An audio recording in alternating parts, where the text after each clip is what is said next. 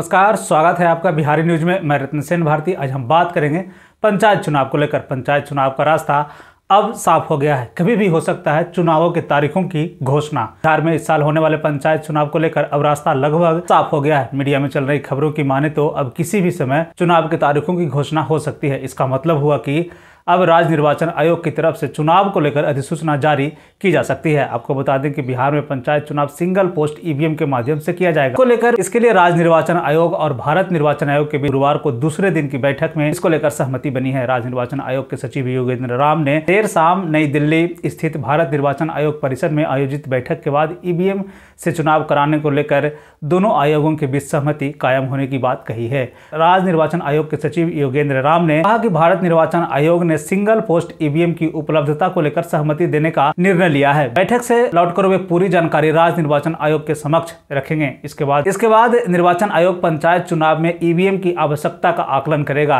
राज्य में single post EVM की उपलब्धता दूसरे राज्यों से आवश्यकता के अनुसार ईवीएम मांगे जाने सहित अन्य पहलुओं पर विचार कर अंतिम निर्णय लिया जाएगा। उन्होंने बताया कि पंचायत चुनाव के तहत छह पदों के लिए चुनाव होना है। ऐसे में सिंगल पोस्ट कंट्रोल यूनिट और बैलेट यूनिट की अधिक संख्या की ज़रूरत होगी। इस दौरान उन्होंने यह भी कहा कि मल्टी पोस्ट ईवीएम से पंचायत चुनाव कराने की संभावना खत्म हो गई है, क्योंकि ईवीएम निर्माणकर्ता कंपनी ने इसकी आपूर्ति ससमय किए जाने को लेकर असमर्थता जताई। बैठक में हैदराबाद के electronic corporation of India limited के प्रतिनिधियों ने कहा कि कोरोना के कारण मल्टी पोस्ट ईवीएम की आपूर्ति किया जाना मुश्किल है, क्योंकि इसके कई पार्ट पुर्जे दूसरे देशों से मंगाए जाते हैं। और इसकी आपूर्ति विदेशों से तत्काल कराना संभव नहीं है। राज्य में पंचायत चुनाव कराने को लेकर प्रत्येक मतदान केंद्र पर छह गुना टोल यूनिट और बैलेट बॉक्स की ज़रूरत होगी। इसका आकलन कर राज्य निर्वाचन आयोग द्वारा भारत निर्वाचन आयोग की, भारत निर्वाचन आयोग से आपूर्ति किए जाने को लेकर मदद ली जाएगी। बैठक में भारत निर्वाचन आयोग के ईवीएम से जुड़े तकनीकी अधिकारी, इलेक्ट्रॉनिक कॉरपोरेशन ऑफ़ इंडिया के विशेषज्ञ भी शामिल हुए थे। बिहार में इस साल होने वाले पंचायत चुनाव की तारीखों की घोषणा किसी भी समय किए जाने की बात कही जा रही है। जिला कोरोना संक्रमण से बचाव के साथ साथ त्रिस्तरीय पंचायत चुनाव की तैयारी में भी युद्ध स्तर पर जुटा हुआ है। प्रशासनिक सूत्रों की माने तो भारत निर्वाचन आयोग व राज्य निर्वाचन आयोग के बीच पंचायत चुनाव को लेकर आपस में सहमति बन गई है। अब अब मात्र मात्र चुनावी तिथियों की घोषणा होना बाकी है।